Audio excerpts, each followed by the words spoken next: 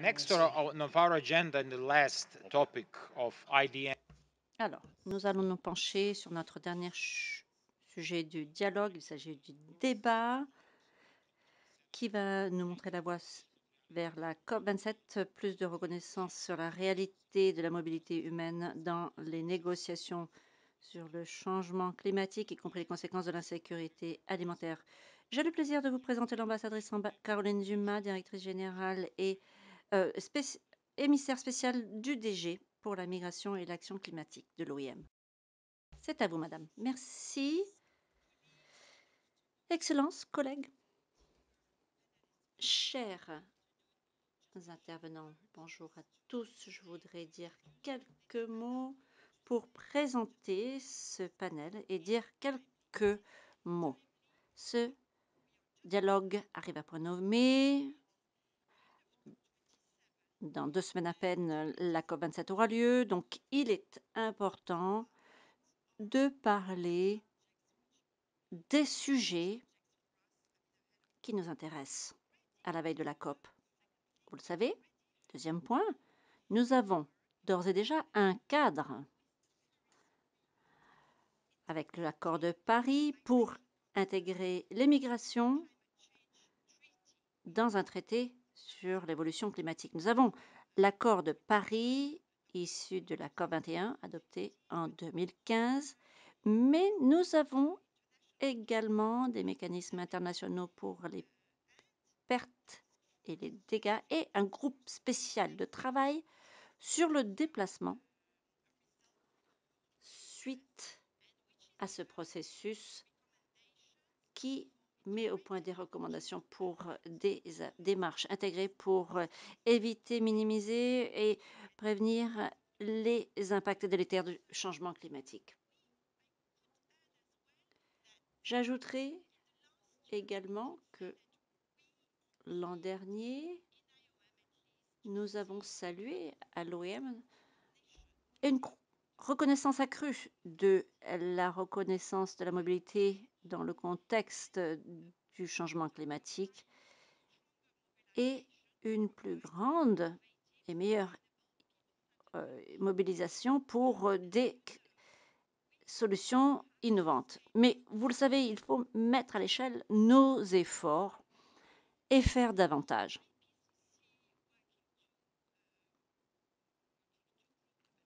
Alors, les deux groupes de travail euh, du GIEC ont émis en février leur rapport. C'est la première fois qu'un groupe de travail relie les répercussions du changement climatique à l'être humain.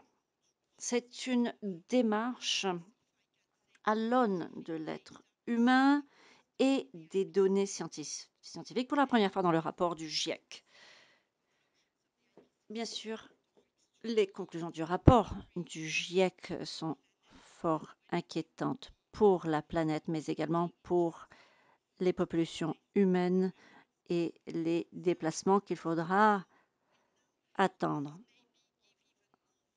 Ce panel permettra peut-être de donner plus de visibilité au lien entre le changement climatique et la mobilité humaine. J'espère que ce panel permettra de mettre en place une meilleure compréhension commune de nos besoins, mais également de nos objectifs à la veille de la COP 27 et que cela nous permettra de mieux nous préparer aux discussions de la COP.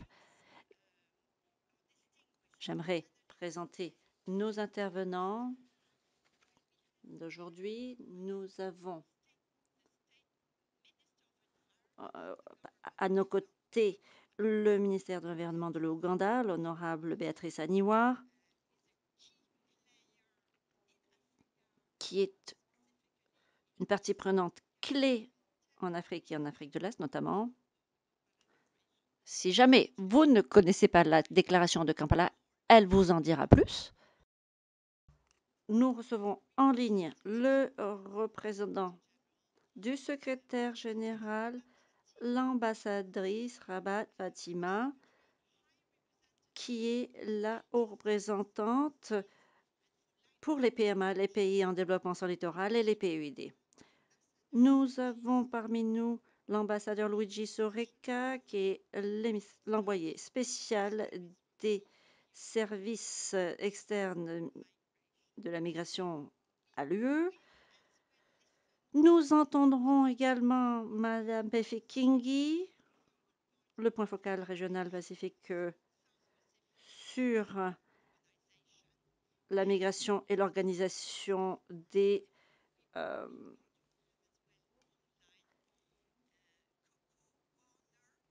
des îles du Sud Pacifique. Et nous recevons également Madame Coco Warner, gérante, responsable de la division d'adaptation à l'ACNUC et elle conclura la discussion.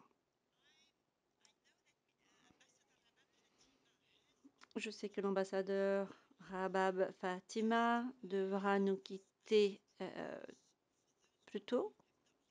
Donc, je propose qu'on écoute le ministre Choukri qui représente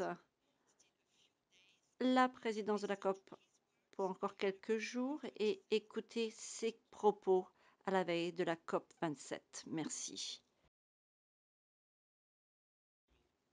Monsieur Antonio Vittorino, DG de l'Organisation internationale pour les migrations, Excellence, chers participants, c'est avec beaucoup de plaisir que je participe à ce deuxième dialogue international sur l'immigration qui se penche sur les défis les plus graves que connaît la planète aujourd'hui, à savoir les liens entre le changement climatique et la mobilité.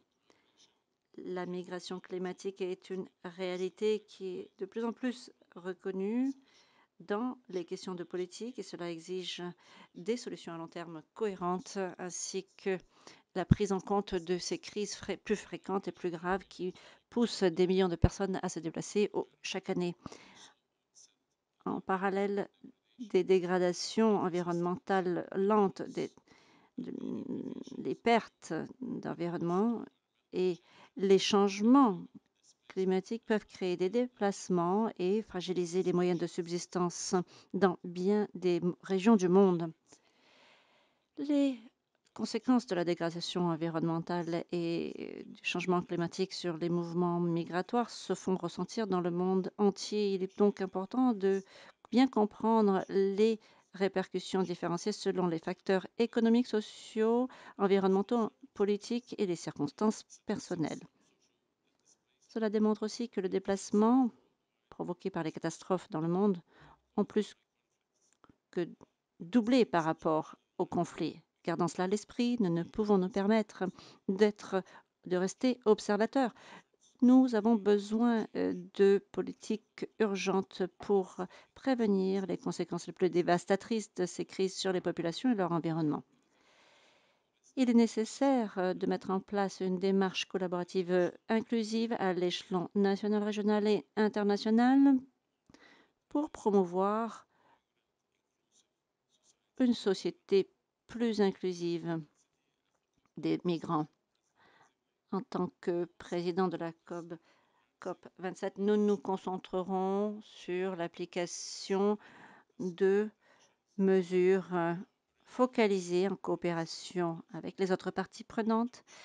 Nous devons veiller à de plus grandes synergies entre le pacte mondial pour les migrations, l'accord de Paris, le cadre de Sendai pour la réduction des risques et l'agenda 2030 pour le développement durable pour mettre à l'échelle des mesures de lutte contre le changement climatique et les qui mettent l'accent sur le bien-être et les droits des êtres humains sans discrimination et améliorer les différentes voies de déplacement pour une migration sûre, ordonnée et régulière par un recrutement sûr qui respecte la dignité humaine ainsi que veiller à ce que la migration reste un choix et non pas une nécessité. Combler les écarts de financement était nécessaire pour obtenir les ressources suffisantes pour la réduction des risques, l'atténuation de changements climatiques et l'adaptation, ainsi que les systèmes d'alerte précoce, programmes à long terme sont autant de programmes nécessaires. Il faudra discuter aussi des financements en harmonie avec les engagements mondiaux et les principes d'égalité, d'équité et de responsabilité commune mais différenciée et la mobilité, les différents scénarios à venir dans le contexte du changement climatique et de la dégradation environnementale. En outre, la migration environnementale et climatologique est un phénomène multicausal qui exige des ripostes dans les différents domaines. Partant, il faut adopter une démarche sociétale holistique pour ne laisser personne de côté. Enfin, et ce n'est pas des moindres, nous avons besoin d'un changement de paradigme dans le financement humanitaire vis-à-vis -vis de la mobilité climatologique, étant donné la crise prolongée de ces l'aspect prolongé de ces crises. Les solutions à court terme ne sont pas suffisantes. Il faut se pencher, sur ces défis multiples et améliorer la résilience. On doit davantage se concentrer sur le lien de la paix pour veiller à la durabilité et la préparation face à ces crises. Excellence, avant de conclure, j'aimerais soulever trois points, trois priorités pour euh, la présidence de la COP27, car cela est essentiel pour protéger les vies et empêcher les déplacements tout en veillant à une transition verte pour le monde. Tout d'abord, la sécurité hydrique. L'imprévisibilité des cycles hydriques provoque des problèmes graves tels que le stress hydrique, le déplacement et les conflits en raison des ressources limite la production, la résilience, les moyens de subsistance financiers et la planification ainsi que la coopération régionale. L'adaptation dans le secteur hydrique est nécessaire si l'on veut réussir à traiter les effets du changement climatique. Les initiatives de résilience et d'adaptation hydrique sont nécessaires et clés dans ces programmes. Deuxièmement, la sécurité alimentaire. Les systèmes alimentaires sont de plus en plus affectés par le changement climatique. Toutefois, améliorer ces systèmes offre une unique opportunité en renforçant la résilience dans tous ces systèmes tout en réduisant les émissions. L'initiative Alimentation pour le développement se base sur des mesures efficaces et en évitant les doublons. Troisièmement, le climat pour la paix est une initiative qui se concentre sur le déplacement, le lien avec la paix et se penche sur des idées novatrices pour faire progresser des solutions de financement climatologique au profit de la paix. L'initiative sera mise en place par le biais de connaissance d'un cadre visant à renforcer la résilience tout en, en comblant les écarts financiers. Je pense que la COP27 sera l'occasion de se pencher sur la riposte à mettre en place face à ces défis. Nous ne pouvons continuer dans le scénario de l'inaction. Nous devons agir de façon coordonnée, intégrée pour atténuer, adapter s'adapter aux effets du changement climatique et se pencher sur les racines de ce phénomène pour la prospérité des pays d'origine et de destination. Merci.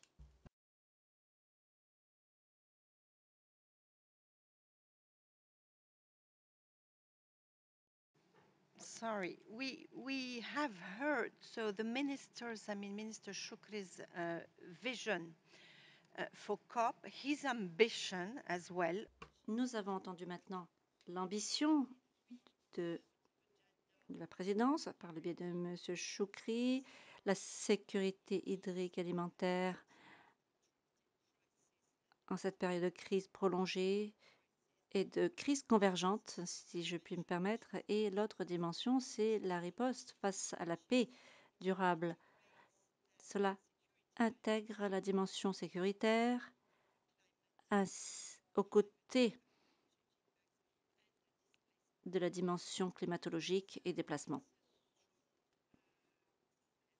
C'est un appel très fort pour se pencher sur les dimensions migratoires au sein de la discussion climatologique. C'est fort encourageant. J'aimerais maintenant donner la parole à la voix des PMA, des PEID et des pays en développement sans littoral et donner la parole à l'ambassadrice Rabab Fatima. Merci. Merci, Madame Dumas, ambassadeur. C'est un honneur de pouvoir être ici parmi vous. L'oratrice parle sans micro externe. Le son est trop dégradé pour offrir une bonne qualité d'interprétation.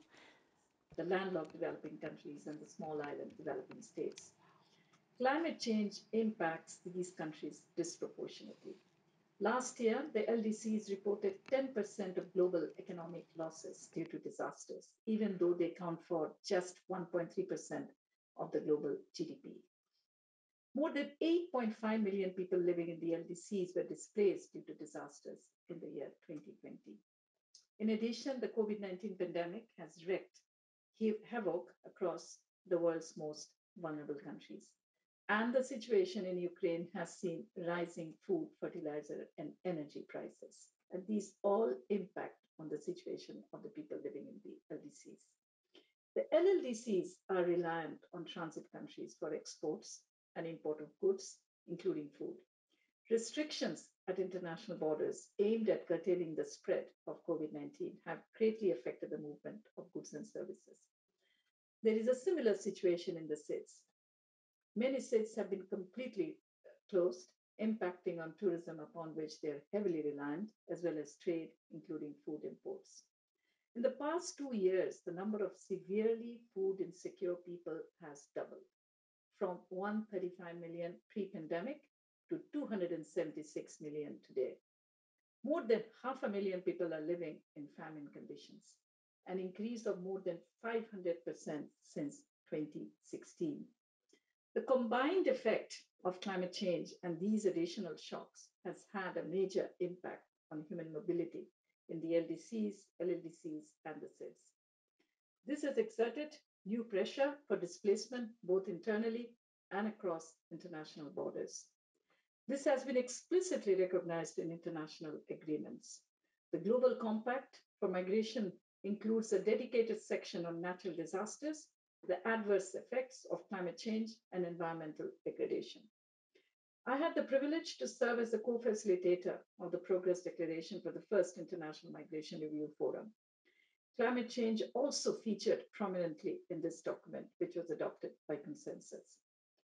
The Progress Declaration recognizes the adverse effects of climate change, environmental degradation, and natural disasters as drivers of migration and it recommends strengthening global efforts to enhance the pathways for safe, orderly, and regular migration for those affected by these phenomena. So the question is, what can we do at COP27 to advance the issue? Excellencies, distinguished delegates, I want to raise four points I believe are worth considering. Firstly, we must turn the implementation of existing commitments these are critical to addressing the root causes of human mobility, namely fulfilling the unmet promises promise of mobilizing $100 billion for climate action in the developing countries, as well as providing expedited funding for adaptation, especially the national adaptation plans, and achieving a balance between funding for adaptation and mitigation. And my second point is I would like to echo the Secretary General's call for early warning systems for all by 2027. I single this issue out as it is especially important for the LDCs, LLDCs, and the SIDS. Putting in place such systems will help prevent the massive losses we have seen over the past decades. With measures in place to save crops and livestock from floods and droughts, we can mitigate some climate related displacement. And in this regard, I in this regard, I draw your attention to the recently adopted Doha Program of Action for the Least Developed Countries. This places special focus on multi-hazard early warning systems. Thirdly, Excellencies, I would like to welcome the work of the Task Force on Displacement of the Warsaw International Mechanism for Loss and Damage. I encourage it, its further, uh, its further efforts and also an expeditious start on the start, uh, uh, uh, start to the work of the Santiago network. My fourth and final point is not related to the UNFCCC architecture. I draw your attention to the lacuna that exists in the protection of persons who have been displaced internationally due to climate change, but who do not fall within the protections granted to refugees. Climate impacts will continue to worsen, distinguished delegates. And so will the numbers or number of persons who have lost their homes or means of subsistence, subsistence or whose environments become uninhabitable. We must find ways to ensure their safety. And in conclusion, we must recognize that we are falling short of the requirements to meet the 1.5 degree limit. Whilst th- that remains the case, food security will be negatively affected. This will cause a greater displacement of people, especially the most vulnerable.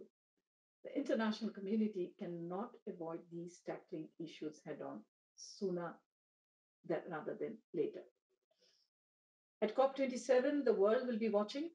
It is a vital opportunity to address the challenges facing the most vulnerable countries in the world by keeping our promises for the full implementation of existing commitments, working smarter, working together, making better use of the instruments that we already have available, and addressing the gaps, institutional as well as normative, to protect all those displaced by climate change. Madam Moderator, Ambassador, Excellencies, I, I, I shall rest it here and I thank you all for your kind attention and for this opportunity to share a few thoughts.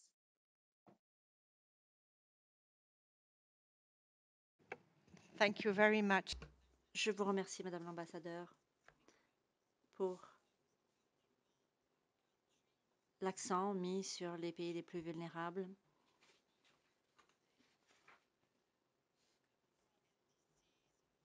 Qui touche un grand nombre de PUD, de PMA.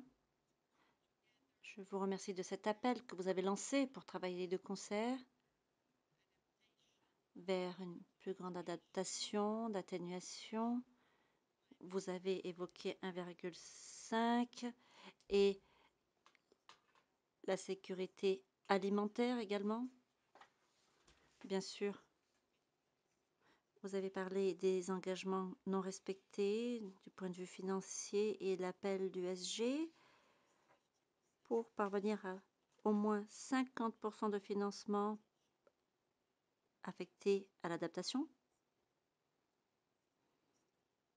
par rapport au financement de l'atténuation.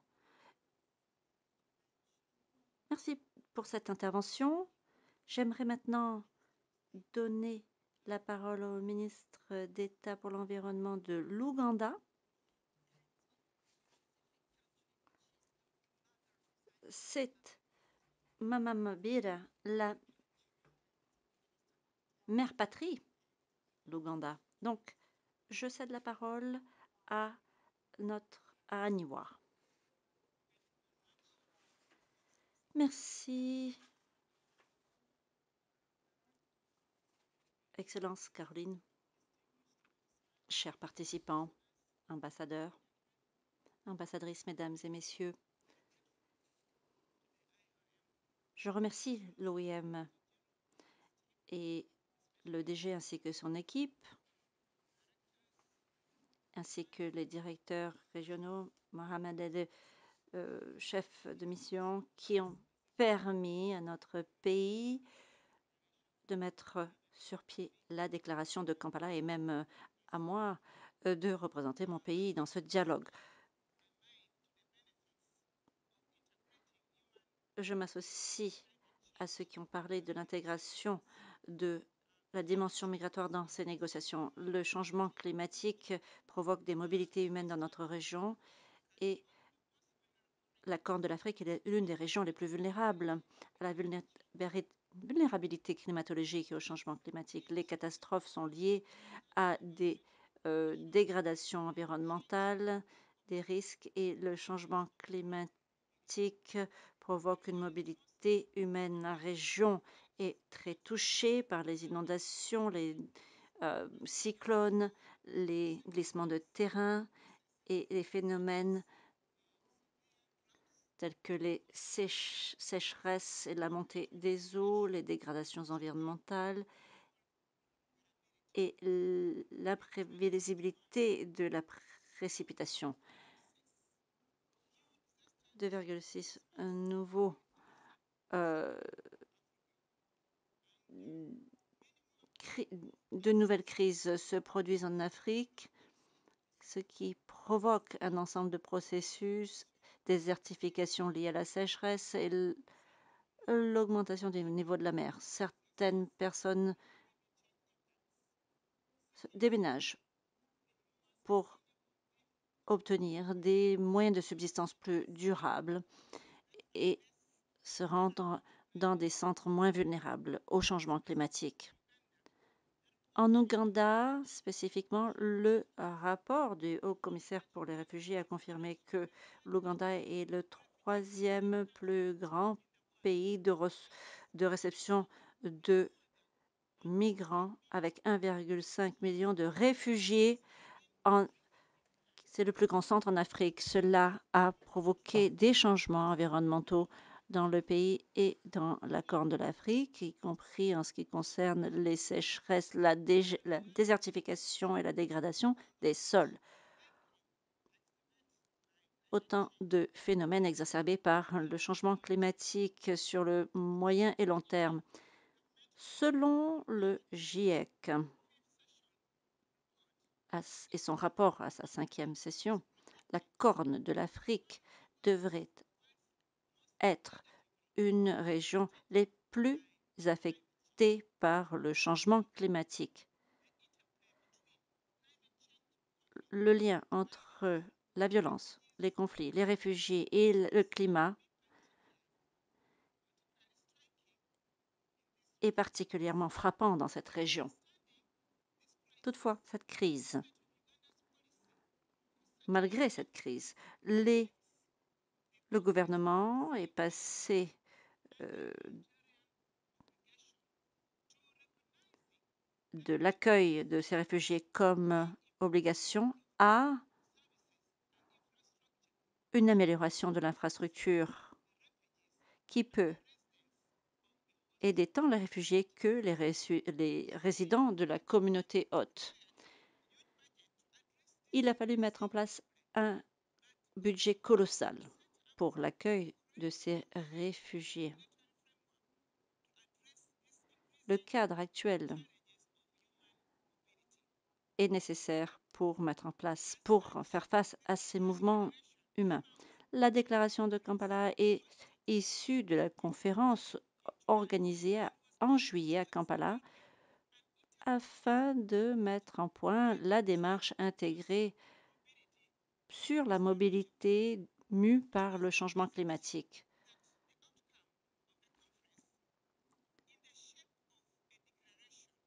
Le résultat de cette conférence devait être une déclaration pour contribuer à ce sujet de plus en plus important de mobilité dans le contexte du réchauffement climatique à l'échelon mondial en se penchant sur les grands thèmes de la COP27 en Égypte. Ainsi, nos questions seront soumises à ce moment-là. La déclaration ministérielle lance un appel urgent pour une plus grande coopération et se penche sur ces points, les points suivants. La désertification et la dégradation des sols progressifs, cela crée davantage de mobilité pour les personnes. Deux, l'utilisation non pérenne des écosystèmes et les impacts de phénomènes météorologiques extrêmes et par extension notre bien-être. 3. La migration non planifiée et l'exode rural suite aux catastrophes et au changement climatique. Enfin,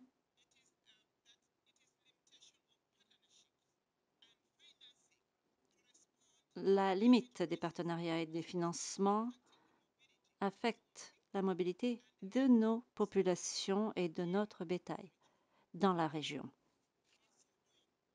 Ce faisant, nous souhaitons renforcer l'engagement et les mesures entre les différentes enceintes, la CNUC et ses processus, ainsi que la communauté euh, de l'Est, l'IGAD, et notre région a collectivement recensé les aspects principaux de la migration de l'environnement, du changement climatique et de leurs liens liés en Afrique de l'Est et dans la Corne de l'Afrique, et cela est inclus et énoncé dans l'accord de Kampala et à son appel à l'action. Cela est pertinent à notre région, toutefois, les défis seront de généraliser cela dans l'Union africaine, dans l'IGAD et sur tout le continent qui devra euh, l'adapter la répercussion de euh, la sécurité alimentaire euh, frappe les pays les plus vulnérables dans le monde. Il ne faut pas négliger cela. Selon la Banque mondiale et son rapport sur la sécurité alimentaire, les prix des denrées alimentaires restent élevés dans le monde. Le lien entre mai et septembre 2002 montre une inflation dans pratiquement tous les pays à faible revenu venus de à 8,9% et à 9,1% dans les pays à revenus faibles et intermédiaires. Donc les taux d'inflation sont à 5% dans bien des pays et voire à double chiffre. High income countries with high food prices inflation has equally risen to 85. 85%, c'est à ce niveau-là qu'arrive parfois l'inflation. Et les prix agricoles prennent également l'ascenseur. En moyenne, en octobre 2022, le blé a augmenté de 27% par rapport à octobre 2021 les prix du blé et du maïs ont augmenté respectivement de 8 et 4% et les prix du riz ont augmenté de 21% par rapport à janvier 2021. La guerre en Ukraine a modifié les euh, schémas de production et de livraison d'une manière qui fait que les prix des matières premières resteront à des prix à des niveaux élevés jusqu'à 2024. Des prix si élevés ouvrent une crise qui plonge nombre de personnes dans l'extrême pauvreté et aggrave famine et malnutrition. D'après le PEPFAR, environ 55 à 7 milliards de dollars sont nécessaires pour venir en aide aux ménages les plus touchés dans 48 pays, pays particulièrement touchés par les problèmes liés à l'importation d'engrais. Et 48 millions de dollars supplémentaires sont nécessaires pour faire face à l'insécurité alimentaire croissante ces prochains mois.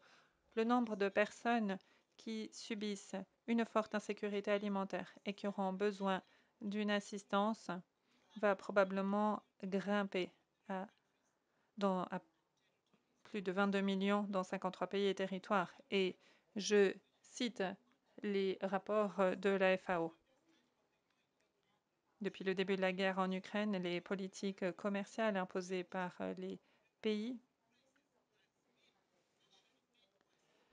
font que le nombre croissant de restrictions au commerce des denrées alimentaires mises en place pour essayer d'augmenter l'approvisionnement national et de réduire les prix sont une réalité. Depuis octobre, 21 pays ont prononcé des interdictions d'exportation et d'autres ont pris des mesures limitant ces exportations. Pour faire face à cette crise alimentaire, le monde doit agir pour apporter une aide dans des domaines tels que l'agriculture, la nutrition, la protection sociale, l'eau et l'irrigation. Ce financement comprendra des efforts pour encourager la production d'engrais et de denrées alimentaires et améliorera les systèmes alimentaires pour augmenter le commerce et venir en aide aux ménages.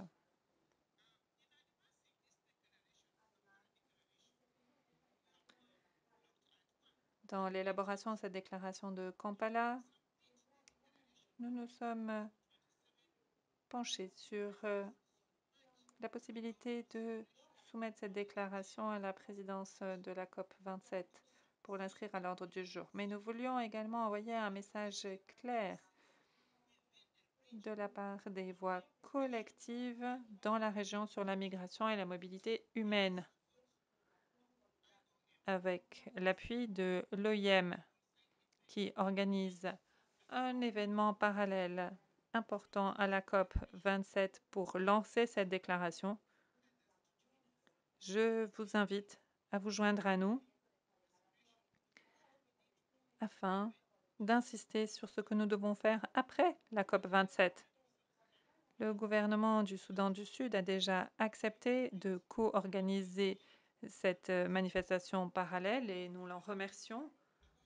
Toutefois, notre vulnérabilité au changement climatique et à ses effets braque les projecteurs sur l'engagement des institutions financières et la mobilisation du financement climatique au sein des négociations climatiques, mais aussi en dehors de ces contextes. Ces dernières années, les pays développés se sont engagés à mobiliser des centaines de euh, millions de dollars pour faire face au changement climatique. Et parvenir à mobiliser 100 euh, milliards de dollars sera l'objectif de la prochaine COP. Et ce financement durable doit inclure la mobilité humaine et les personnes déplacées pour que ces personnes fassent partie du processus. Ouvrir davantage de discussions en vue des objectifs de 2025 est essentiel et des délais clairs doivent être euh, fixés pour épuiser l'ordre du jour d'ici 2024. Et la mobilité humaine doit être au cœur de discussions, tout comme les réfugiés. Enfin, chers amis, lorsque l'on parle de mobilité humaine et de discussions financières, nous ne devons pas nous concentrer sur les prêts pour euh, régler les problèmes des réfugiés, mais plutôt sur les euh, subventions et sur l'action d'entités telles que l'OIM pour que les personnes puissent s'installer de manière pacifique. Et ce serait la voie à suivre. Je vous remercie pour l'attention que vous aurez accordée à mon message. Je vous remercie infiniment, Madame. Thank you, really, Asante Sana. I want to say more than thank you very Je voudrais dire euh, plus que merci beaucoup. Merci, Madame, pour euh, cette intervention complète qui a euh, dessiné le panorama toutes les difficultés, les enjeux, les défis que l'Ouganda doit relever. Vous avez bien posé les difficultés en contexte et qui reposent sur les épaules de l'Afrique, euh, Afrique de l'Est, la Corne de l'Afrique, mais aussi de l'Ouganda. La charge que représente euh,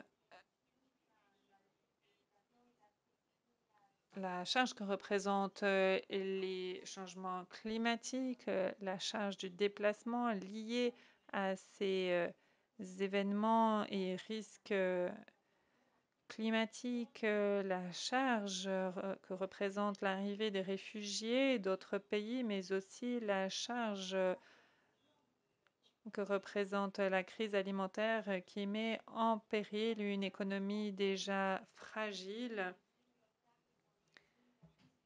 Et tout ce que vous avez dit sur euh, la hausse des prix euh, de la nourriture, de la viande, du blé, euh, mais aussi des engrais et les prémices d'une réponse et la déclaration de Kampala essaie d'aborder ces points en une même voie la voix de l'Afrique de l'Est, euh, de la Corne de l'Afrique, et vous souhaiteriez que cette voix soit entendue à la COP et vous souhaiteriez que euh, les choses aillent jusqu'en 2024 et nous allons revenir sur ces points très importants au sein de notre discussion. Je vais maintenant donner la parole à l'ambassadeur euh, Luigi Soreca envoyé spécial de l'Union européenne pour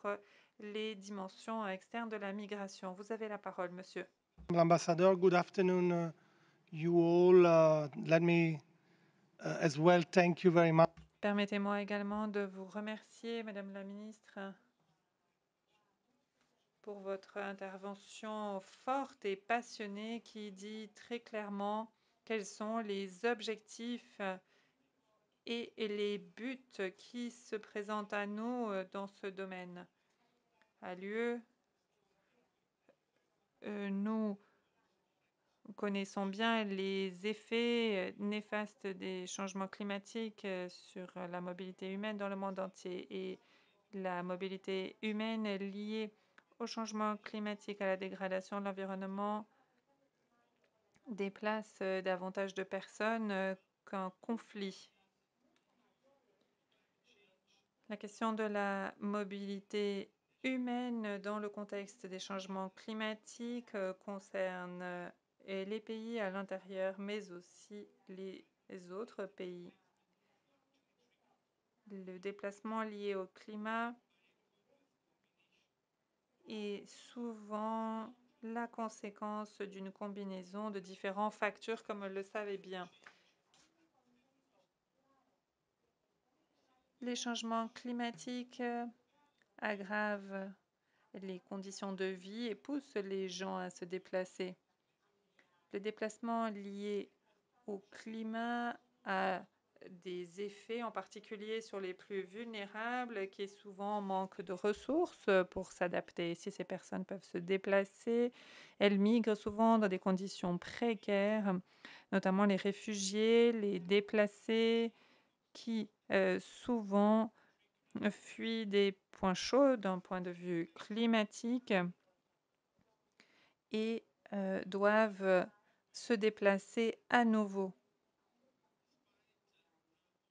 Nous le savons tous, malgré tous les engagements pris à Glasgow, à la COP 26, l'action climatique mondiale reste insuffisante. Et à la COP 27, ensemble, nous devons poursuivre l'ambition mondiale de zéro émission nette, mais nous devons également avancer sur le financement climatique, les pertes et préjudices et tous les éléments décidés à la COP26. Les Nations Unies, l'UE et ses États membres souhaitent continuer à déployer leur soutien pour avancer dans le domaine du financement climatique. Nous continuerons à travailler avec les partenaires dans le cadre du programme Glasgow Sharm el-Sheikh sur l'adaptation et nous continuerons à agir de manière concertée en matière de financement climatique, notamment pour venir en aide les pays les plus touchés, les plus vulnérables. Des actions urgentes sont nécessaires sur le terrain et je suis ravie que hier soir, les États membres de l'UE au sein du Conseil ont convenu d'une position commune, à savoir la position de l'UE à la COP27. Tous les, ministères, tous les ministres de l'Environnement se sont dit prêts à actualiser les contributions déterminées au niveau national conformément au point 29 du pacte de Glasgow. Et comme la modératrice l'a dit, ils ont également fortement appelé à ce que les institutions financières proposent des mécanismes novateurs pour donner de l'ampleur à la participation du secteur privé. Comme cela a déjà été dit, nous soutenons des initiatives concrètes dans le renforcement et l'expansion des systèmes d'alerte précoce qui peuvent sauver des milliers de vies. Et nous aimerions qu'il y ait une décision qui permette de concrétiser les décisions du réseau de Santiago afin d'aider les personnes les plus vulnérables. Lorsque l'on parle d'insécurité alimentaire, défis humanitaires considérables, la migration peut constituer une stratégie d'adaptation.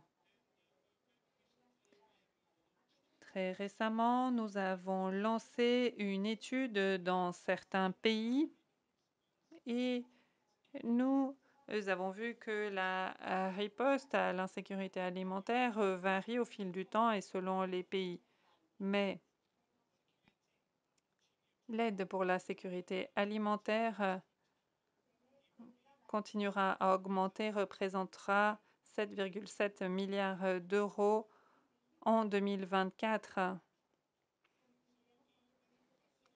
Madame euh, l'ambassadrice, nous sommes convaincus du multilatéralisme, des bienfaits d'un travail collectif, mais ensemble, nous devons davantage mettre l'accent sur la priorité que représente le déplacement lié au changement climatique afin d'inscrire cette question dans tous les forums internationaux, dont la COP 27. Je vous remercie. Je vous remercie, Monsieur l'ambassadeur.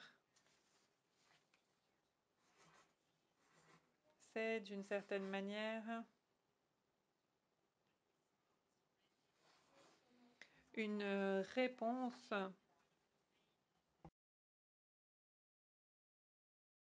de l'une des principales parties euh, à la COP, puisque l'UE représente non seulement les institutions, mais aussi les 27 États membres. Et quand vous nous dites que l'UE souhaite encore euh, accroître euh, ses activités en matière d'adaptation et, son appui au financement de l'adaptation, mais également ce que vous nous avez dit, par exemple, en augmentant les contributions déterminées au niveau national dans les États membres.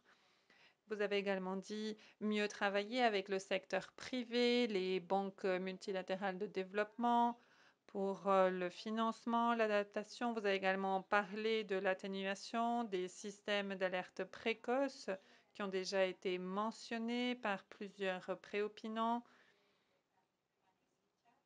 et le réseau de Santiago qui doit être traduit en mesures concrètes, ce sont là toute une série de directions très positives et nous souhaiterions également revenir sur ce que vous avez dit. Nous devons également intégrer, et c'est bien vrai, et une évidence pour le IEM, nous devons intégrer la migration en tant que stratégie d'adaptation c'est une bonne nouvelle que l'UE soit prête, si je peux dire les choses ainsi, à utiliser tous ces outils, tous ces liens, tous ces euh, récits à la veille de la COP. Cela donne un petit peu d'espoir pour les discussions à venir à la COP 27.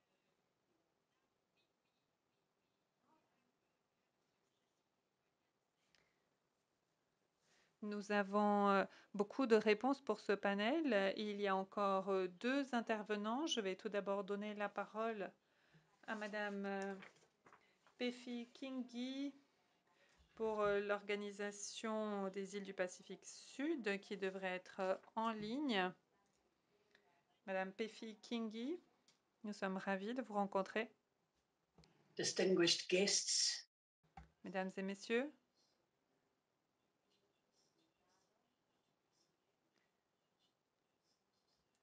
Je tiens à saluer également les responsables de la société civile en Tuvalu. sama-sama kakwese i le nei ne te tui ngala. Whakalanga ake ia. My island Mon île est une mer de perles qui ne brille plus de mille feux sous le soleil. Nous nous employons à sa restauration. C'est un proverbe du peuple des Tuvalu qui s'est réinstallé à Kiowa après que leurs îles aient été touchées par le climat. Et cette île se trouve au nord du Fuji. Le peuple Vaitupu des Tuvalu a acheté l'île de Kiowa en 1946 avec l'argent gagné au sein des forces armées américaines pendant la Deuxième Guerre mondiale. Ils sont installés à Kiowa le 26 octobre 1947. Du 18 au 20 octobre 2022, euh, donc la semaine dernière, nos groupes et dirigeants de la société civile du Pacifique de toute la région, lobbyistes, militants, défenseurs des droits de l'homme, défenseurs euh, et euh, chantres des changements climatiques ont organisé une retraite avant et pour la COP27. Kiowa, lieu du paradis des dieux, ou collaborer et co-rédiger la déclaration d'urgence climatique de Kyoto qui sera présentée avant Sharm el-Sheikh. La semaine dernière, nous avons euh, pu euh, boire sans frein euh, lait de coco, manger différentes variétés de poissons frais, des tomates, du poisson frais, des concombres et du poisson frais. Il semble que nos peuples ont des régimes équilibrés et ont une source sûre qui permettent de garder nos tables bien garnies sur cette terre. Toutefois, la réalité des choses n'était pas aussi réjouissante que euh, tout ce qu'il y avait sur nos tables après avoir été aussi bien traités, et les personnes qui habitent là-bas ont retrouvé les duretés de leur ville. En échangeant avec les personnes qui vivent là-bas, nous avons vu que l'agriculture et la pêche n'étaient pas aussi abondantes que par le passé. Et cela va dans le sens des conclusions d'un rapport récent du GIEC d'après lequel les changements extrêmes dans euh, le climat et les océans signifient que les prises de pêche euh, ont diminué de 40 à 60% Les populations ont là-bas un accès limité à une alimentation suffisante, sûre et nutritive, ce qui représente une véritable préoccupation à. Il est difficile pour les euh, personnes d'acheter, d'importer ou d'obtenir d'autres denrées alimentaires et les ménages ont du mal à acheter d'autres produits alimentaires dans les magasins ou sur les marchés.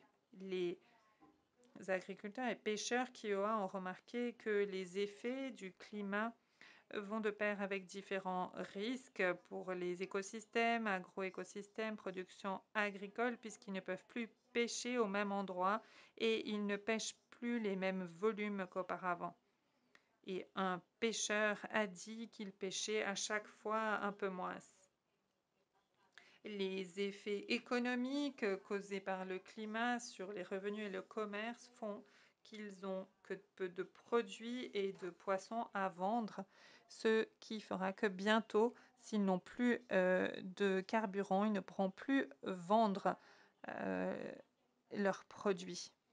Et s'ils ont suffisamment d'argent pour mettre du carburant dans leur bateau, eh bien, ils auront besoin encore de marcher pendant au moins une heure pour aller au marché le plus proche pour vendre leurs produits. Les impacts sociaux sur les moyens de subsistance des familles empêcheront qu'ils puissent acheter les produits nécessaires pour leurs enfants. La nutrition de leurs enfants est également menacée.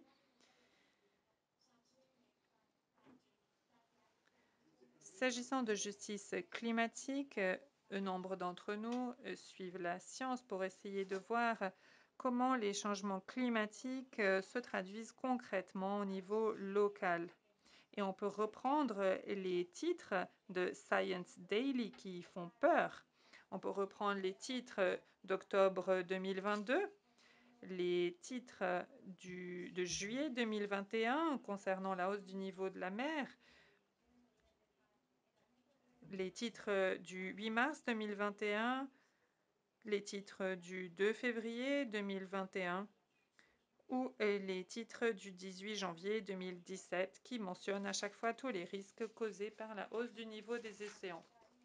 Excellence, la région du Pacifique que nous représentons aujourd'hui n'est plus la région du Pacifique qu'elle était par le passé lorsque nos pères fondateurs se sont réunis à Wellington du 5 au 7 août 1971 pour former une direction régionale. C'était une époque d'espoir. Nombre des États membres insulaires se dirigeaient vers l'indépendance et d'autres commençaient leur vie en tant que nouveaux États indépendants. Le développement économique de notre région a été influencé par le colonialisme relativement tard et la décolonisation continue, puis une intégration tardive dans l'économie mondiale et la décolonisation dans le Pacifique est en processus en cours. Voilà la réalité que nous continuons à vivre. Ce que nous savons tous maintenant, c'est que les euh, pluies plus importantes que la moyenne entraînent des pluies diluviennes qui peuvent avoir des conséquences graves sur la production alimentaire. Les récoltes euh, sont parfois euh, reportées. La valeur nutritionnelle de nos aliments est moins bonne parce que les concentrations de protéines et de minéraux sont inférieures et les conditions climatiques plus dures feront que la production, par exemple, de viande sera moins importante. Les conditions climatiques extrêmes sont une réalité dans nombre de pays. 4 millions de personnes en Papouasie-Nouvelle-Guinée se sont retrouvées récemment sans eau en raison de la gravité euh, du changement concernant El Niño.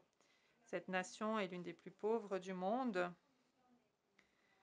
et le déclin de la disponibilité d'eau liée au changement climatique et euh, l'alternance irrégulière d'inondations et de sécheresse fait que le prix des denrées alimentaires dans tout le Pacifique est très irrégulier. S'agissant des femmes, ce sont elles qui sont les plus touchées par la crise climatique et l'insécurité alimentaire. Une mère m'a dit qu'elle ne pouvait pas acheter le carburant nécessaire pour aller au marché le lendemain pour qu'elle puisse vendre les samosas à 2, dollars pièce pour qu'elle puisse nourrir sa famille de 4. Compte tenu que dans nombre des pays les plus pauvres, les femmes sont celles qui euh, possèdent les cultures et non la terre, lorsque les conditions climatiques extrêmes frappent, ce sont les plus vulnérables.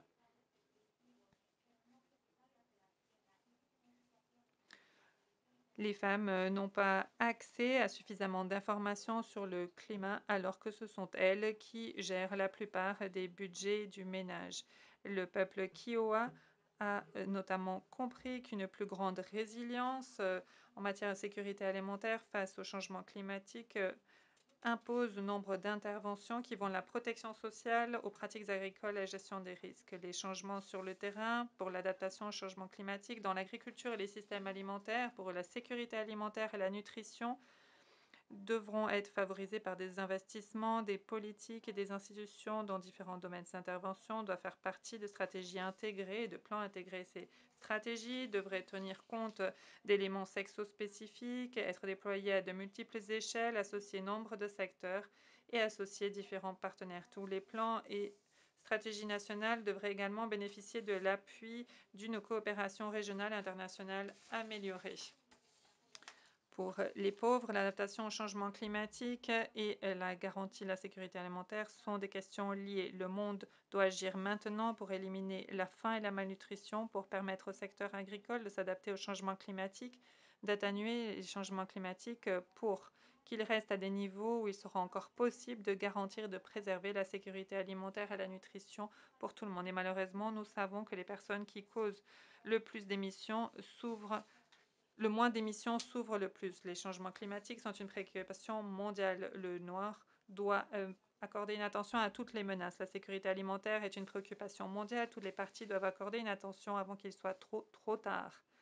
Nous, société civile du Pacifique, partageons la vision des leaders du Pacifique pour une région pacifique résiliente, région de paix, d'harmonie, de sécurité, d'inclusion sociale, de prospérité qui garantisse à tous les peuples du Pacifique une vie libre, saine et productive. Toutefois, les changements climatiques compromettent cette vision. Nous avons une stratégie 2050 pour que notre continent bleu Pacifique soit notre étoile directrice. Aujourd'hui, notre région est euh, bouleversée la pandémie euh, de Covid-19 frappe, notre région est en crise et la crise socio-économique empire les choses. Au niveau local, nos sociétés civiles ont observé et appris les enseignements face à la nature rapide du changement. Nous observons les enseignements qui euh, concernent nombre de vulnérabilités. Nous sommes convaincus que nous devons agir ensemble pour euh, faire avancer le régionalisme du Pacifique sur la base de l'histoire du Pacifique bleu. Notre région est confrontée à un nombre de difficultés liées aux effets du changement climatique, au déclin de la couverture forestière et à la perte de biodiversité. Nous devons, le monde doit euh, accorder une attention à euh, la situation.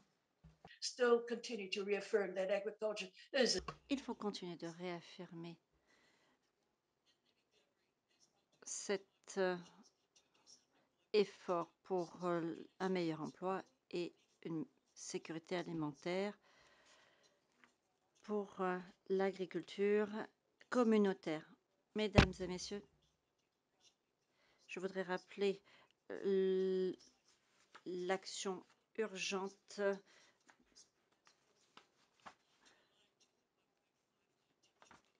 pour reprendre la euh, survivance de notre communauté. Cela doit être réalisé par euh, l'abandon progressif des combustibles fossiles. Aucune autre l'arrêt du financement des combustibles fossiles d'ici 2050 et réduire les émissions tenir compte euh, du carbone bleu.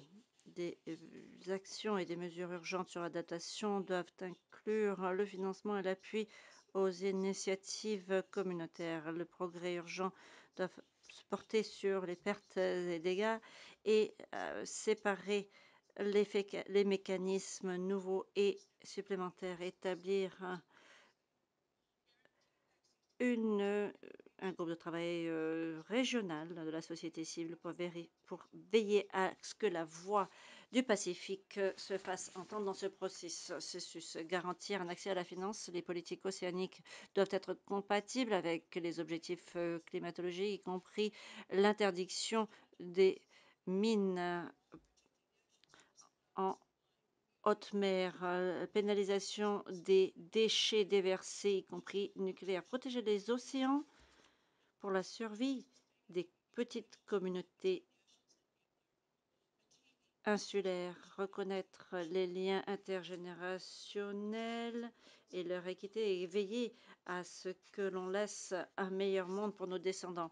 Nous appelons aussi à une journée euh, de, climat, de justice climatique sur le calendrier onusien.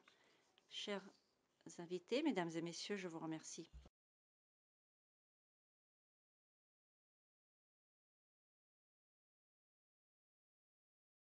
Je vous remercie infiniment, Madame, pour ce plaidoyer fort. Merci de nous avoir présenté les besoins spécifiques de cette région polynésienne. Vous avez souligné qu'il s'agit là d'une question d'adaptation, mais également de résilience, mais au final de survie également. Vous nous avez donné différents exemples sur la façon dont la sécurité alimentaire augmente et elle met en péril la survie même des enfants, des bébés, ainsi que la vie de femmes.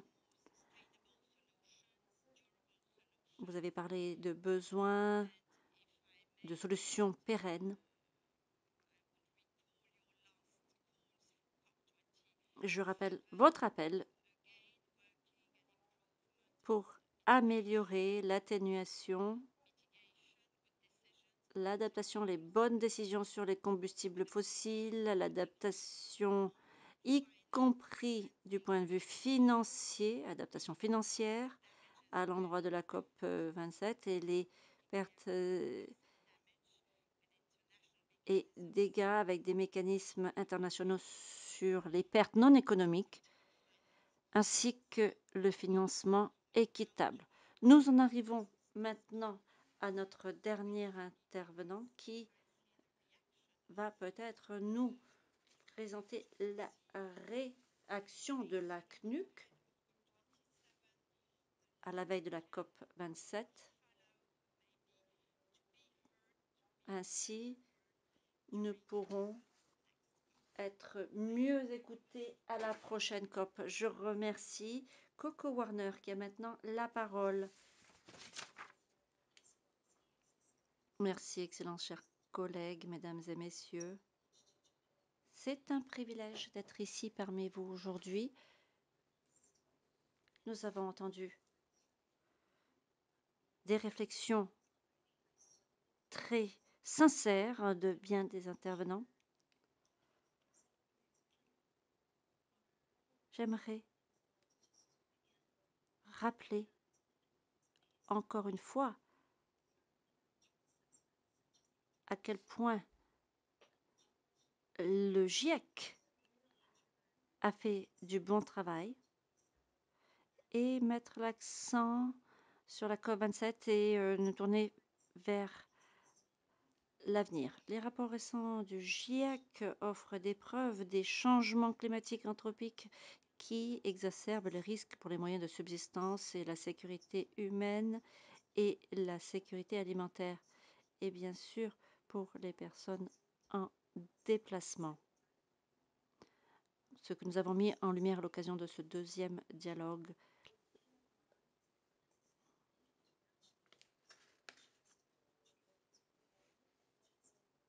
juste dans la région où j'étais, dans le pays où j'étais la semaine dernière près d'un million de personnes étaient sur le point d'être déplacées par des inondations inhabituelles dans la région du Sahel. Des millions de personnes supplémentaires sont frappées par la sécheresse. Cette année, encore une fois, nous avons connu des températures extrêmes et nous avons atteint des records historiques en Asie, en Amérique du Nord, du Sud, en Europe, partout sur la planète. Nous atteignons les records.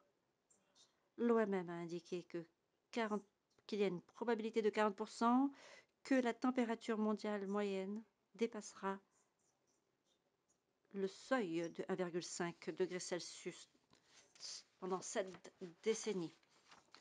Pendant cette séance, on a entendu des commentaires politiques très sincères, des commentaires très sincères d'experts et de politique pour savoir ce que cela représentera. Un autre point que l'on retient des experts, c'est que les enfants représentent un grand pourcentage des personnes en déplacement, des enfants seuls ou accompagnés de leur famille en déplacement.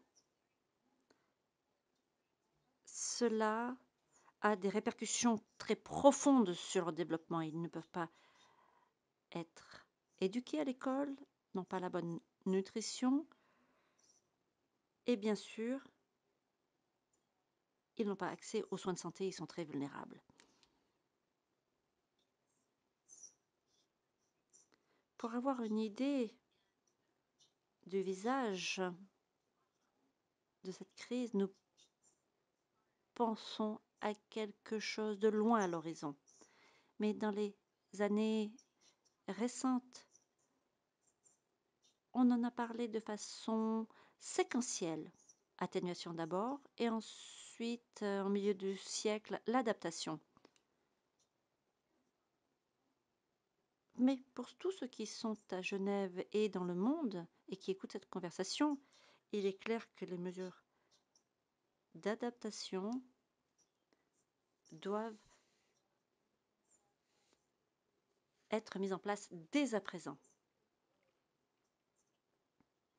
Alors, quelles sont les priorités pour la COP 27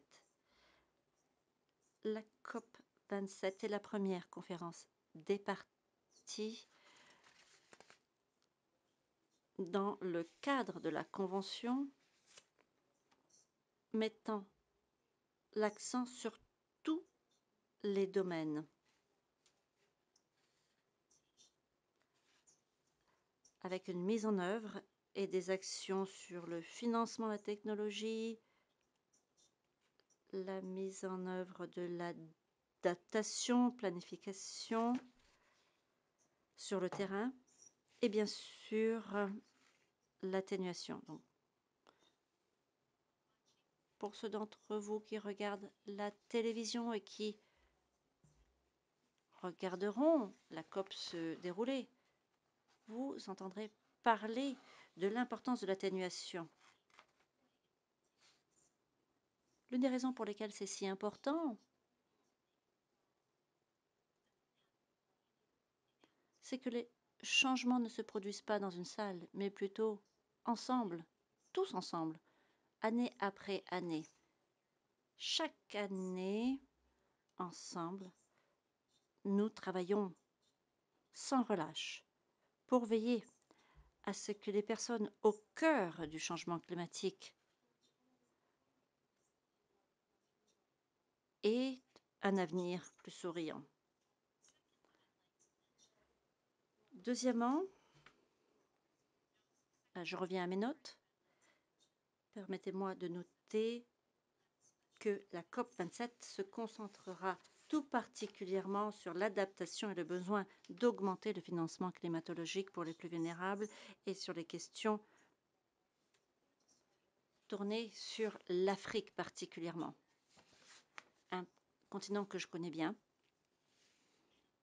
L'Afrique possède l'une des populations les plus jeunes au monde.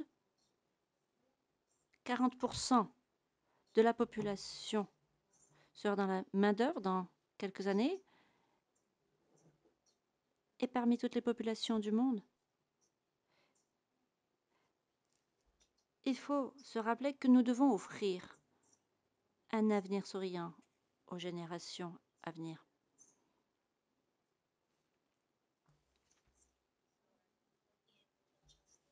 L'interprète essaye de faire de son mieux, mais il n'y a pas de micro externe.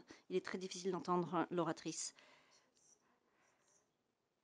Nous devrons offrir de la protection durable et une résilience climatologique. Troisièmement, la COP27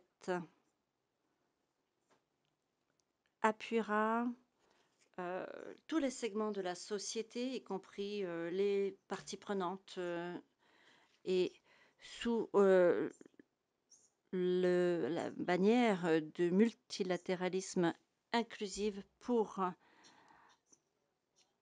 inciter à l'action climatique. Il s'agit d'un défi collectif Il s'agit donc d'un moment où tous les efforts se regroupent de façon pragmatique pour agir sur le terrain.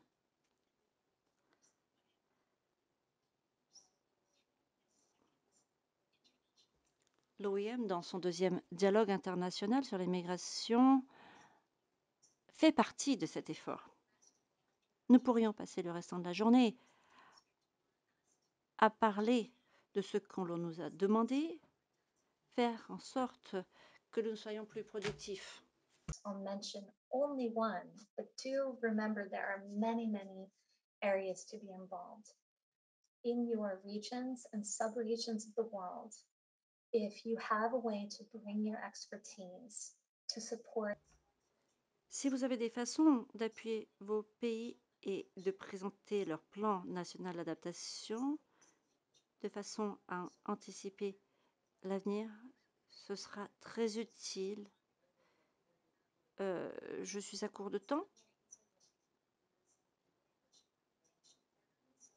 Les pays vont mettre en place leurs plans nationaux d'adaptation ainsi que des mécanismes de financement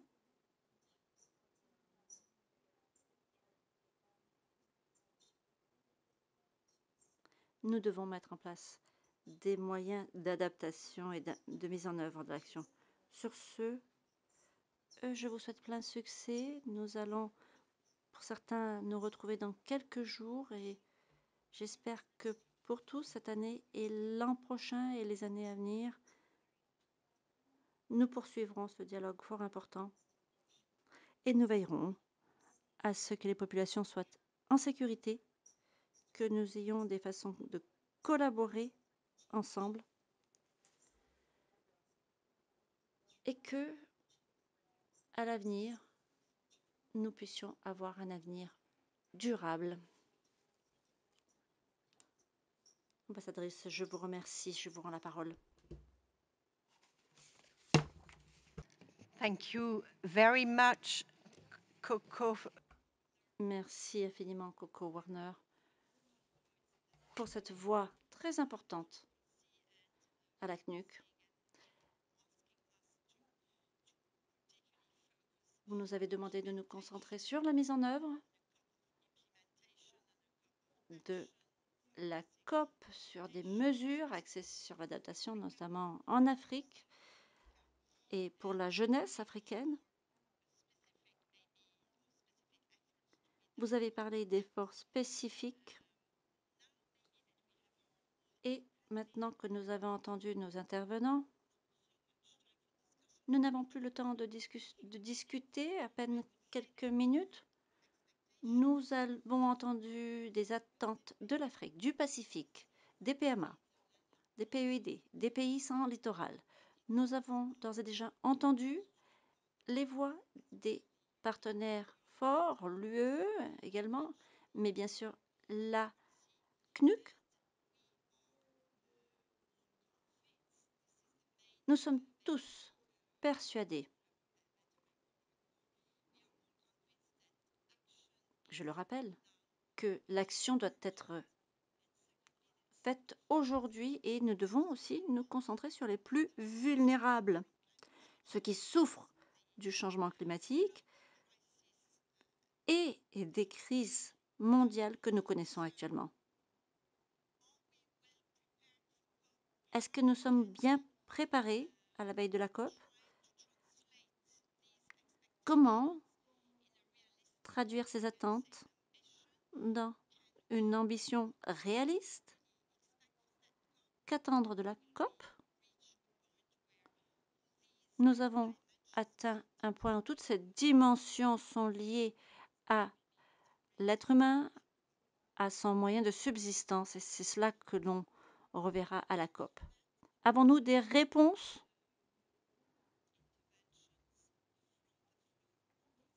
Et avons-nous des interventions dans la salle?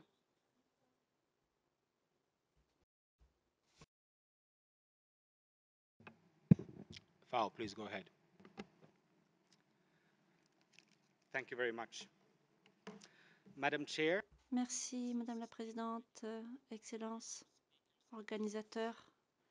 Chers participants, je vous remercie de m'avoir donné l'occasion d'intervenir dans une discussion très importante sur la mobilité, les accès et le climat. Nous avons entendu pendant deux jours que le changement climatique continue d'avoir des répercussions sur les systèmes et affecte la vie et les moyens de subsistance d'hommes et de femmes, et notamment dans les zones rurales. Les populations rurales sont particulièrement vulnérables au changement climatique car elles dépendent énormément des ressources naturelles pour leurs moyens de subsistance et ont de faibles capacités à s'adapter. Les moyens de subsistance sont compromis et cela pousse les personnes à un exode rural ou à être déplacées par force. Ils peuvent aussi être piégés dans des zones à risque par manque de capacité. Il est essentiel de se pencher sur le sort des euh, populations rurales qui sont euh, loin de l'atténuation et de l'adaptation. C'est une question de, justice sociale, mais pas seulement. Il s'agit de la voie à prendre pour concrétiser l'accord de Paris. Nous devrions euh, continuer de parler de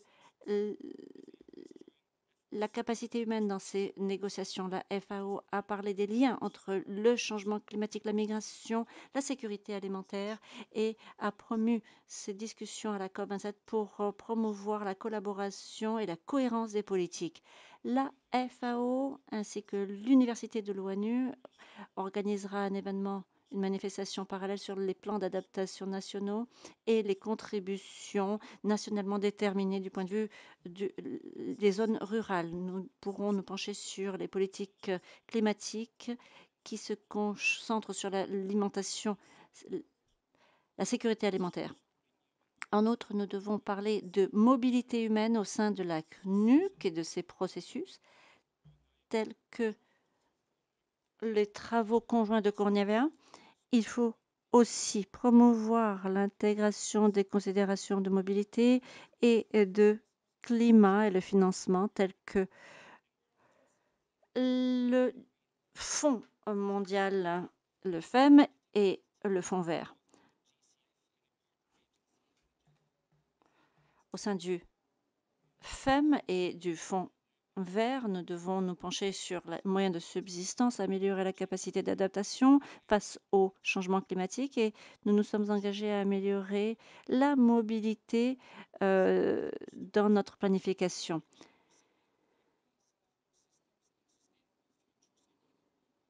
Des systèmes supplémentaires sont nécessaires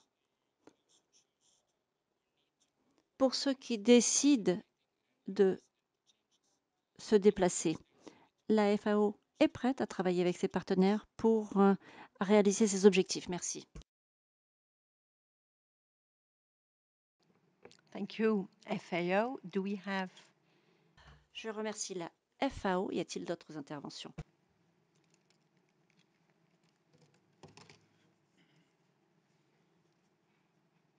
No. Well, thank you um, all colleagues who are... Je remercie tous les collègues qui sont dans la salle pour votre patience. Je remercie chacun des intervenants d'avoir contribué à cette réflexion mondiale et d'intégrer euh, cette vision globale du lien entre le changement climatique, le déplacement, la migration, mais également l'intégration des voies sûres régulières dans cette enceinte.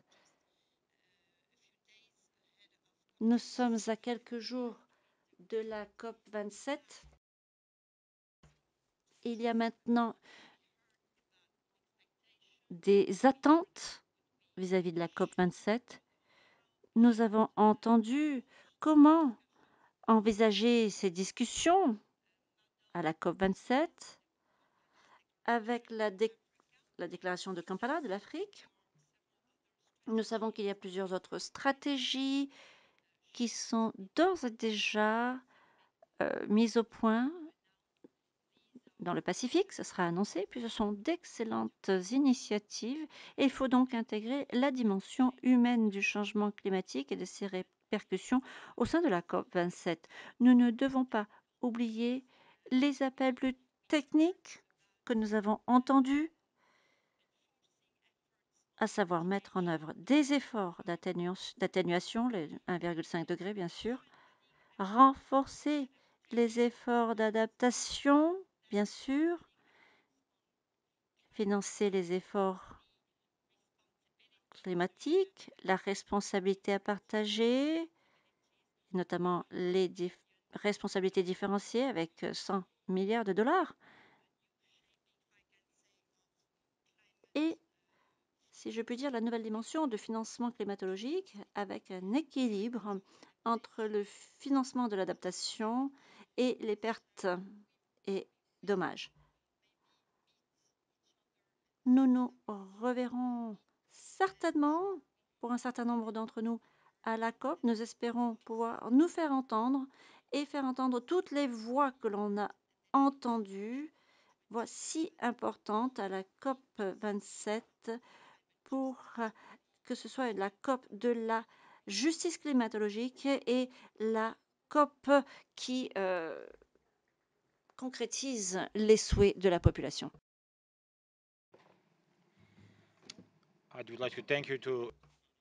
Je remercie Caroline Dumas et tous les intervenants.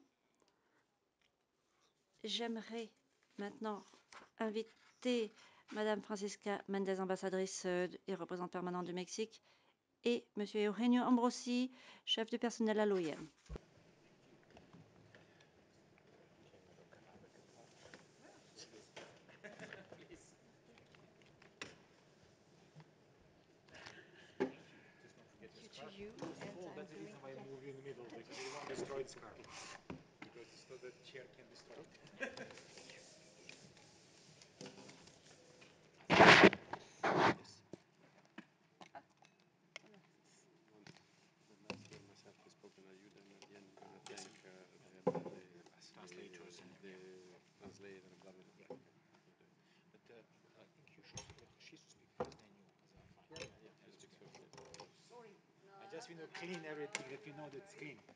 Sorry, please.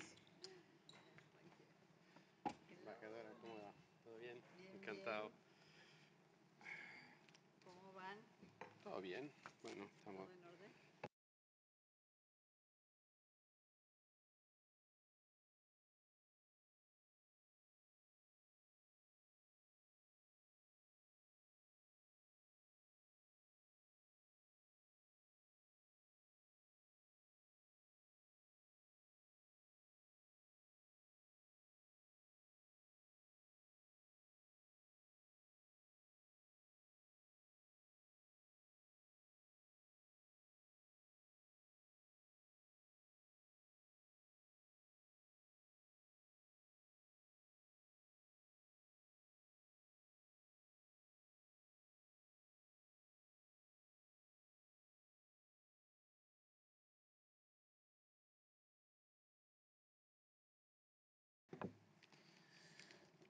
Now for the closing remarks. Très bien.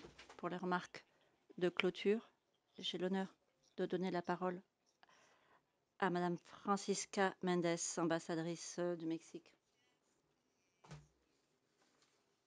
Muchas gracias. Excellent. Je vous remercie, Excellences, Mesdames et Messieurs les délégués, ici présents et à distance.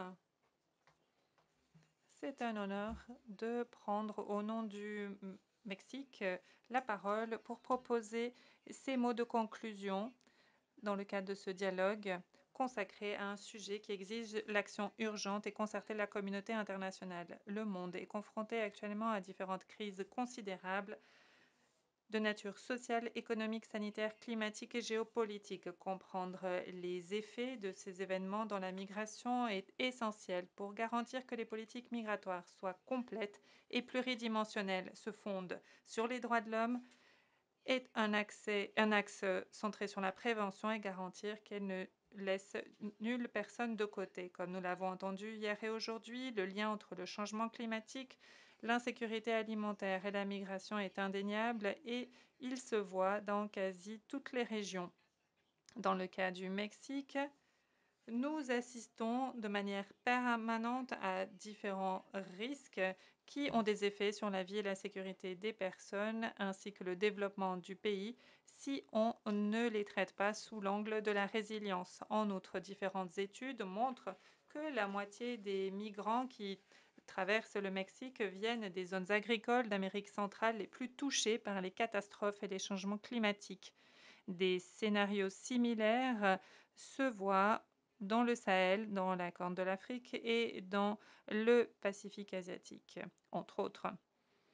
Les catastrophes, fruits du changement climatique et leurs effets sur la sécurité alimentaire, aggravés en outre par la situation en Ukraine, augmentent la pauvreté, creusent les inégalités et contraint un nombre croissant de personnes à migrer pour trouver sécurité ou avoir accès à de meilleures possibilités et moyens de subsistance. Toutefois, le caractère généralement spontané, désordonné et régulier de ces flux migratoires expose les personnes à des conditions précaires, les remet en mai de trafiquants, ce qui augmente encore plus leur situation de vulnérabilité, en particulier chez les mineurs, les femmes, les personnes handicapées et les personnes âgées. Malheureusement, il existe Heureusement, il existe des cadres mondiaux extrêmement pertinents pour faire face à ces défis, dont le, les pactes mondiaux sur la migration et les réfugiés, et les réfugiés, les accords de Paris, le cadre de Sendai et le programme 2030. Ces instruments qui se renforcent mutuellement et qui doivent donc être mis en œuvre de manière simultanée sont des feuilles de route pour orienter les politiques publiques des pays afin de prévenir le euh, mouvement de personnes liées par les conséquences des changements climatiques et l'insécurité alimentaire, promouvoir le respect des droits humains, élargir la collaboration et la coopération internationale et euh, mettre en avant des solutions. Pour conclure les travaux de ce dialogue, je souhaiterais retirer cinq réflexions générales fondées sur les discussions d'hier et d'aujourd'hui pour euh, veiller à ce que nous disposions de mesures efficaces en matière d'atténuation et d'adaptation face au changement climatique pour renforcer la résilience des communautés et permettre une migration surordonnée et régulière. Premièrement, il convient d'améliorer la disponibilité des données malgré les efforts déployés pour collecter davantage d'informations statistiques sur les flux migratoires. Il y a encore des lacunes importantes. Des données prospectives et stratégiques sont nécessaires sur les impacts des changements climatiques, l'insécurité alimentaire et autres causes de la mobilité des personnes, ventilées par âge, genre, statut migratoire et de vulnérabilité. Cela permettra d'anticiper le type de mouvements migratoires qui auront lieu ces prochaines années afin d'élaborer des politiques et des plans conformes aux défis à relever. Deuxièmement, il est nécessaire de redoubler d'efforts en matière d'atténuation et d'adaptation au changement climatique, en particulier dans les pays vulnérables, afin de renforcer leur capacité et la résilience des communautés locales. Pour ce faire, l'accès à un financement durable est nécessaire pour mettre en avant des mesures permettant d'éviter, de réduire et d'affronter les effets des changements climatiques, y compris les pertes et les dommages, et disposer de meilleurs plans de préparation face à ces événements. Troisièmement, élargir et diversifier l'offre de voies de migration régulière.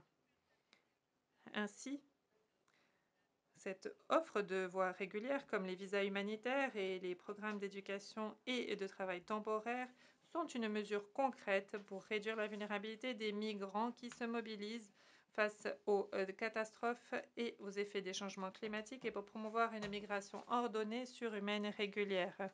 Il existe nombre de bonnes pratiques et recommandations orientées par euh, euh, l'objectif numéro 5 du pacte mondial afin de trouver des voies régulières fondées sur les droits humains, garantissant l'accès au travail décent et donnant certitude au processus migratoire afin que la migration soit une option et non une nécessité.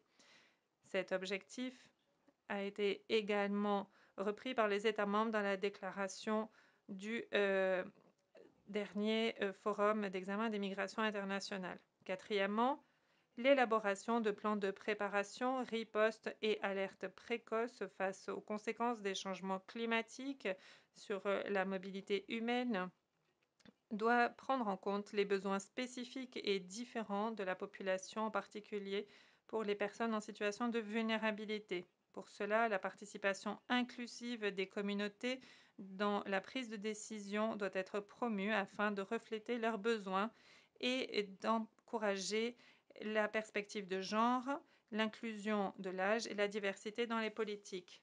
Dernier point, il faut accélérer l'application des cadres mondiaux et régionaux pertinents en dépassant les lacunes et compte des enseignements tirés. Nous sommes à deux semaines de la COP 27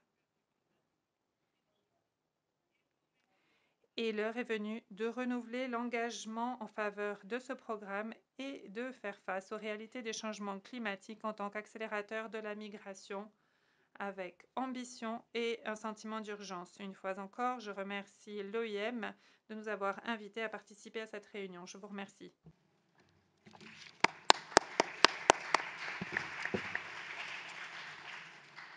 Thank you, Madam Ambassador. Now I would like to give the floor to IOM Chief of Staff, Je vous remercie. Je donne la parole à Monsieur Eugenio Ambrosi, chef du personnel. Merci pour ces propos. days of very intense discussion, and I will not even try to summarize the, the Nous avons un dialogue de deux jours. Je ne vais pas récapituler tout ce qui a été dit, mais j'aimerais dire deux choses particulièrement pertinentes à la veille de la COP27 sur les négociations sur ces questions fort importantes telles que le réchauffement climatique, les changements climatiques. Donc, premier point, qu'est-ce que c'est que nous rencontrons et que nous essayons de régler?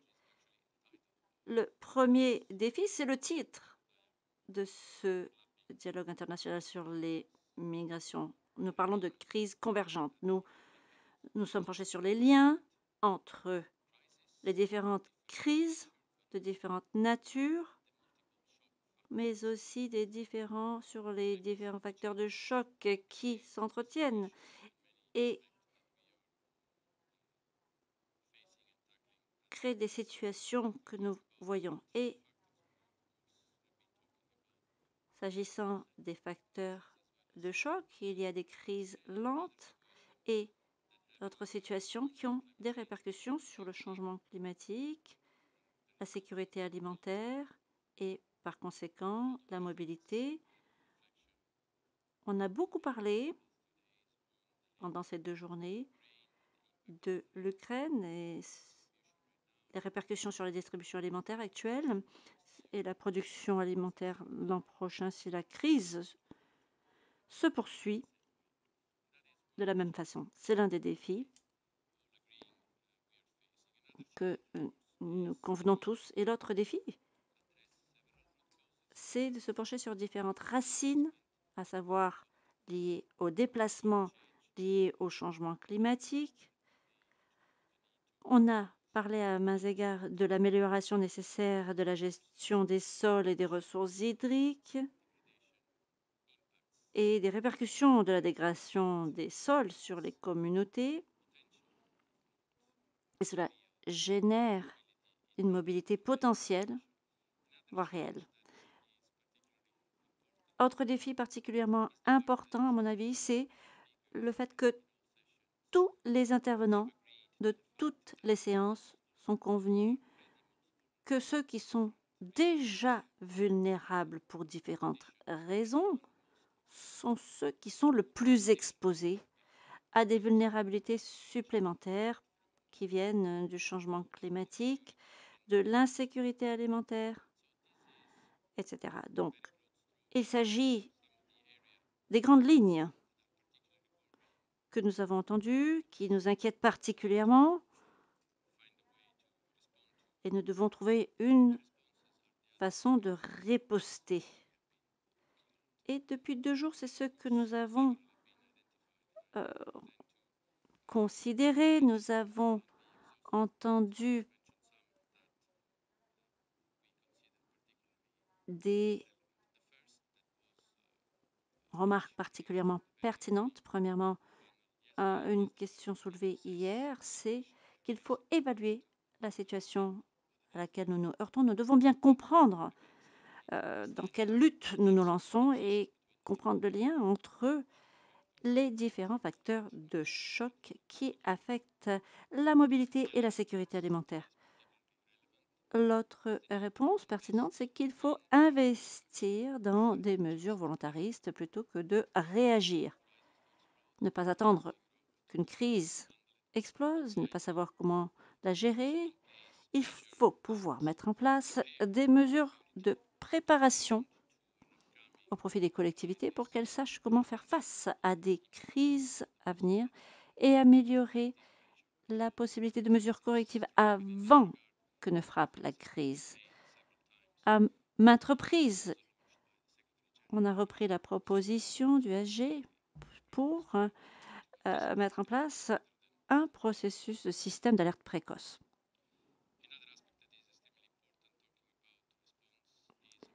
Nous avons parlé aussi de réponse, du lien entre les euh, différents facteurs. Il n'y a pas qu'un seul aspect à prendre en compte. Il s'agit de mettre en place une démarche multisectorielle et une règle de démarche multipartite. We require a complex answer uh, to et pour cela, il faut des ripostes euh, plurielles.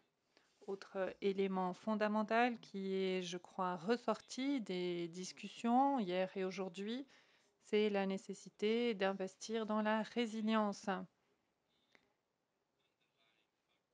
Et les facteurs euh, sous-jacents qui font que la migration pourrait être euh, dans le même temps une stratégie d'adaptation efficace, mais aussi une cause potentielle de dégradation environnementale ou d'insécurité alimentaire. Il faut donc trouver un bon équilibre en matière euh, de euh, réponse et d'action pour trouver donc l'équilibre entre ces deux points pour que la riposte euh, à la migration tienne également compte des besoins des communautés sans aggraver la situation qui existait déjà dans les lieux d'accueil. Lorsque l'on parle de résilience, il faut donner aux femmes et aux jeunes les moyens d'agir et de décider afin de garantir que la production alimentaire, la distribution alimentaire, les stratégies d'adaptation soient adaptées dans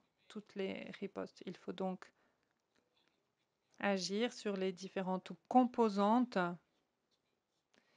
qui concernent les communautés les plus exposées aux situations qui posent problème. La résilience englobe également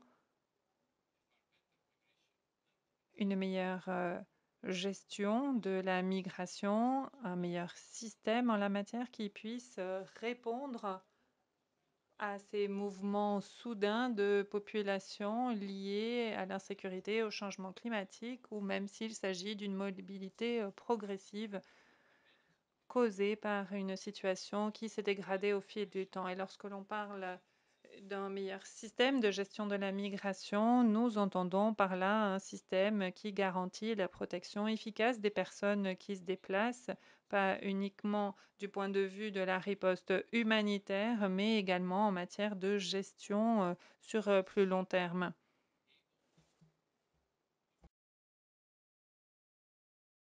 Et il faut pouvoir efficacement euh, réagir. Et lorsque l'on parle de gestion de la migration, comme Madame l'ambassadrice vient de le dire, il y a également des instruments qui sont là, que nous devons continuer à mettre en œuvre. Et il s'agit notamment du pacte mondial sur, pour des migrations surordonnées et régulières Et il en va de même pour les ODD et euh, le programme 2030. C'est une feuille de route qui permettra à la communauté internationale d'avancer et d'améliorer plusieurs aspects, combler plusieurs, plusieurs lacunes. Et cela nous permettra de mieux administrer la réponse aux crises dont on parle. Dernier point que je souhaiterais aborder tout au long des discussions, il est apparu clairement qu'il ne s'agissait pas euh, d'un problème qu'un seul euh, acteur pouvait euh, traiter de manière isolée. Et nombre d'acteurs, dont la société civile, la diaspora, doivent être associés, tout comme d'autres partenaires. Et c'est comme cela que la communauté internationale devrait s'organiser lorsqu'elle doit réagir et tout à l'heure, cet après-midi, nous avons entendu l'exemple de la déclaration de Kampala, qui est un excellent exemple de coopération régionale.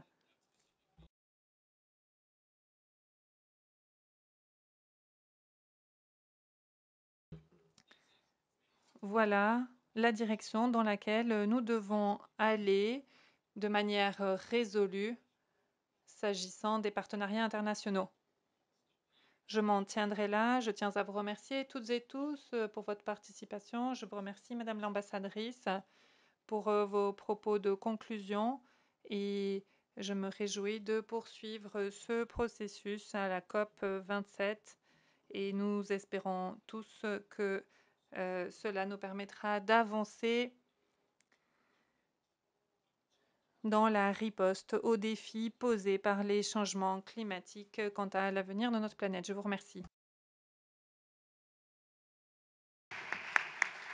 Thank you, Mr. Abrosi. On the end, I would like to thank to all panelists and non-moderators, especially those that are je tiens à remercier tous les conférenciers sur place, en ligne, ceux qui sont venus de très loin, ceux qui sont connectés très euh, tard. Je tiens également à remercier les interprètes. Et je tiens également à remercier tous mes collègues qui m'ont aidé à euh, permettre que cette réunion se déroule comme elle a pu se faire. Je vous remercie et je vous dis à bientôt.